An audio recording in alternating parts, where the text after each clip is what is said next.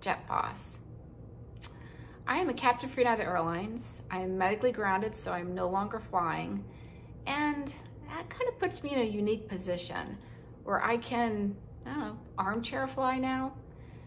There's been a lot of stuff going on in the airline industry, a lot of stuff in the news, and a lot of stuff that has not made the news that's really gotten my attention and has, has me concerned. And I decided it's time I just started sharing some of my thoughts, the pilot's perspective on some of these things that are going on. Now, I've never done videos before. I'm not a YouTuber. I apologize in advance because this really isn't my thing, but I'm giving it a shot. So the first incident that's on my mind is um, Japan Air, JAL 585. They uh, just had an incident that was classified as a serious incident that for some reason didn't make the news at all, and it is a big deal. The uh, aircraft was a 767-300 ER, extended range. They landed with only 1,700 pounds of fuel in each tank. That's 3,400 pounds total fuel on this aircraft. That is not a lot of fuel. That is an aircraft that is just about to have two engines flame out. And they had 258 passengers on board, which I'm guessing were none the wiser to the situation that they were in. Now, in the US, we have FARs, we have a lot of rules, a lot of regulations, but above and beyond that, airlines, uh, US carriers have company policies that are even more conservative. In the US, you're not gonna have an airliner land an aircraft with less than eh, a 767 with less than 7,300 pounds. That's minimum fuel. That's low. Now, this aircraft landed with 3,400 pounds. So let's discuss this. Let's figure out as much as I can, and this is just my opinion because I am not in those pilots' heads, but let's figure out what was going on here and how that came to be and hopefully, if we bring some awareness to these incidents, it will help prevent them from happening again in the future to other pilots uh, that find themselves in similar situations. All right, let's get started. Okay, so what did happen? Japan Air 585 is a regularly scheduled flight, daylight hours. It was a morning flight, domestic, uh, about an hour and 20 minute flight time very routine. They were flying from Tokyo Haneda up to um, Hakodate and they arrived at their destination at 8.55 a.m. They shot the approach. At 9 a.m. they went missed approach due to low visibility and fog. No surprise there, that was in the forecast. They circled back around and they tried again. Totally cool, totally routine. Uh, they went missed approach at 9.19. So that was about 20 minutes um, after they had gone missed approach the first time. I'm not sure why it took them 20 minutes to um, circle around and come back in, but, but that's what it took. In any case, their clock was ticking down there. Second uh, attempt, the visibility was still bad. No surprise. The fog was still there, no surprise. So they went to their scheduled alternate. Their scheduled alternate was uh, New Chitose, which they made it to, barely. Now, the interesting thing was they went missed approach at 919 and they declared a fuel emergency en route to New Chitose um, only 16 minutes later at 935. So they shot that second approach, that second attempt up at um, with very, very little fuel. They chose to gamble and try again rather than go to their alternate now. Okay, all right, that didn't exactly work out for them. All right, so let's talk a little bit about fuel, fuel load. So probably the biggest decision that a pilot makes every single leg is how much fuel am I gonna put on this aircraft? There's a lot of thought that goes into that. It's not like a car where you just say, you know, fill her up and, uh, and, and you're on your merry way. There's a lot to think about. And that decision is, is a joint decision. The captain will discuss it with the other pilots after considering weather, ATC delays, all sorts of factors go into the decision as to how much fuel we want to carry. And we also make that decision jointly with our dispatcher. Our dispatcher is our licensed professional whose job it is to build a flight plan, to keep us safe, and to um, calculate all these things out really for us. And we very much appreciate their work. Um, and then of course there's the FARs, which have regulations and restrictions and limits. And then we have company policy, which generally is a lot more restrictive than the FARs. Uh, the airlines do not want their airplanes running out of fuel. And so we have very conservative work rules that we follow when it comes to deciding a fuel load. All right, so why would we want to keep the fuel low, as in only put on as much as we need? Well, there's a lot of reasons for that. Um, one is simply capacity. Uh, there's just so much room, so much weight that you have on an aircraft. And oftentimes on long flights, if you put on fuel, you are lowering the payload. So what is the payload? The payload is anything we get paid for. Um, passengers, their luggage, freight, that's the payload. And there are times on long flights where, and I can attest that I've been a part of this more times than I can count, where we have a long international crossing to do and we want to put more fuel on than we really have the room to do. So what do you do? Do you put less fuel on and settle for that? Or do you somehow lower the payload? I hate to admit it, but sometimes passengers are bumped because we need that weight for the fuel. Sometimes passengers aren't bumped, but their bags don't make it. Well, maybe those bags misconnected, or maybe those bags were pulled back at the you know departure point because they needed that weight to add fuel. That does happen. And it's unfortunate, it's inconvenient, but it keeps everybody safe. And that's just the reality of, uh, you know, long international flights. So another reason is fuel is heavy. It takes fuel to carry fuel. A heavier aircraft burns more fuel and heavier aircraft also can't climb to its most economical altitude. More than likely, if you put a lot of fuel on, you're gonna have to step climb up to that altitude, which means you're gonna be stuck at lower altitudes for longer periods of time, which means you're gonna be burning more fuel.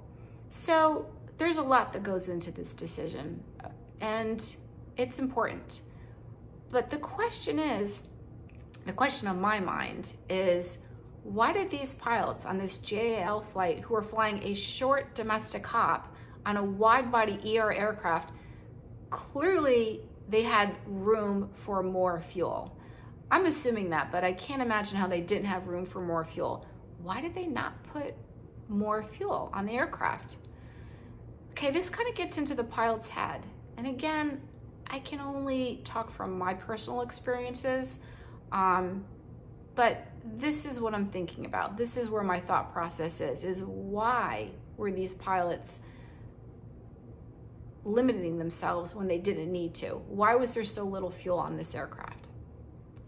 Well, now that I've asked the question, I don't actually have the answer. I, I wish I knew.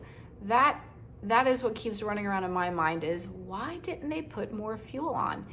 And why did they shoot a second approach rather than go to their alternate when clearly they could see at this point how low their fuel was? Why would they fly it to the point where they had to declare an emergency? What I can tell you a little bit is about what the pilots were going through at that point. First of all, they declared an emergency. Now that means they're in an emergency. It means the air traffic controllers will clear the air for them. They will clear the pavement for them. It means everybody gets out of their way because they need to land their aircraft now. Now, when you're an aircraft that's on the ground, say waiting for takeoff, and there's an aircraft that declared an emergency that's coming in, and you have to sit there for 15 minutes or maybe more, and you're thinking, you know, I could have just departed and been out of everybody's way and it wouldn't have had been any problem at all. But the truth is, once they know that aircraft is coming in, nobody moves, everybody freezes. And it really does make sense because say that aircraft got on the runway to depart and then say they, I don't know, say they blew a tire. Now suddenly you have a disabled aircraft on the runway, now you've lost that runway. So you can't take any risks when an aircraft has declared an emergency and everybody just has to sit back, sit on their hands and wait. And the truth is, pilots might get a little frustrated, but they get it and they're happy that they're not the emergency aircraft. And honestly, their heart is with those pilots because they know they're going through something that they themselves, you know, are glad that they're not in that position and they just wish the best for them.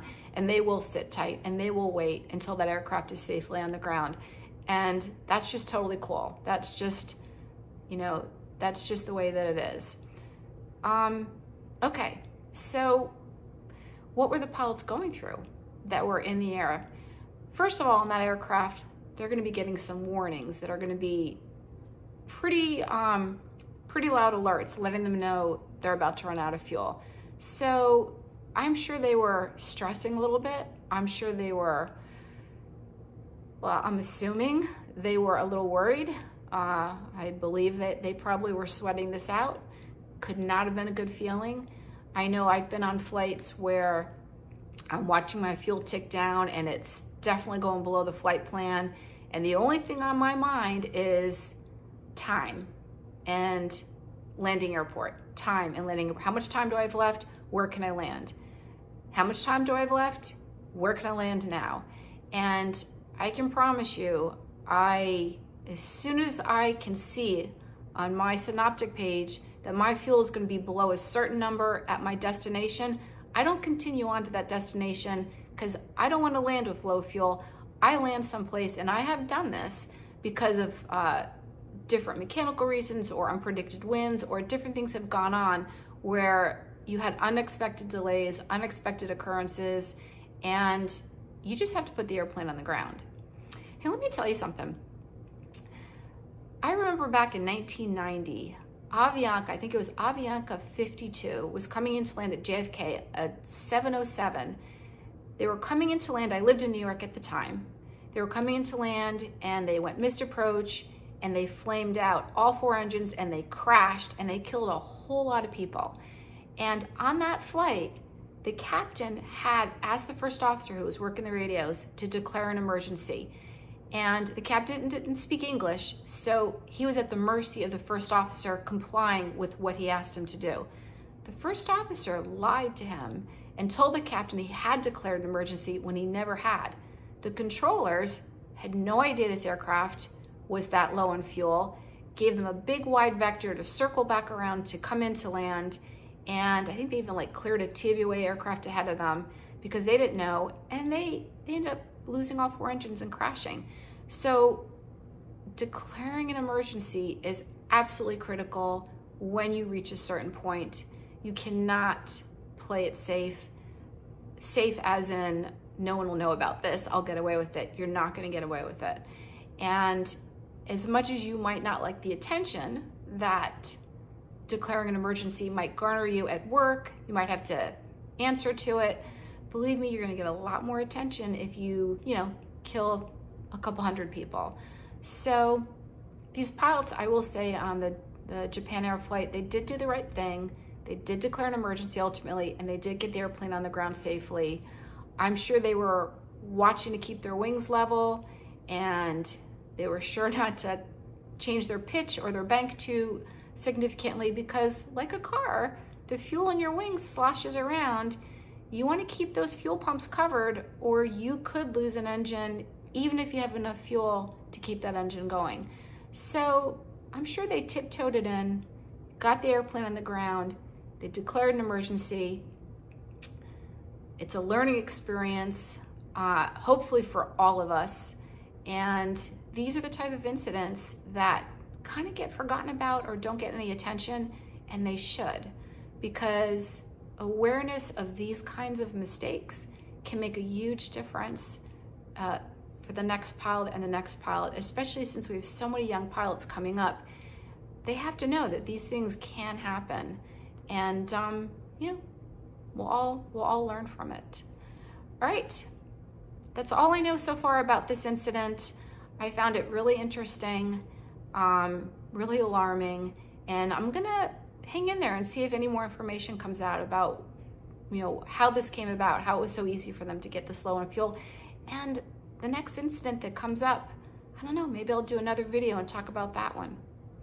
All right, thank you everybody for hanging in with me. I really appreciate it. And um, that's it. Everybody have a great day.